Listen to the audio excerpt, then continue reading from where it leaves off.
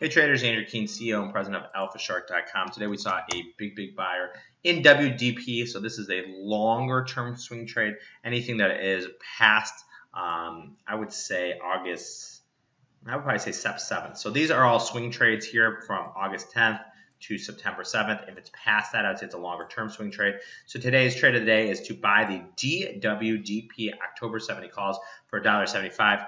You can see here volume 15,441 of these trade. Open interest here is 1,338. So big, big buyer of DWDP Oct 70 calls. So the right but not obligation to buy DWDP between now and expiration. And for that right, they paid $70, $175 uh, per one lot.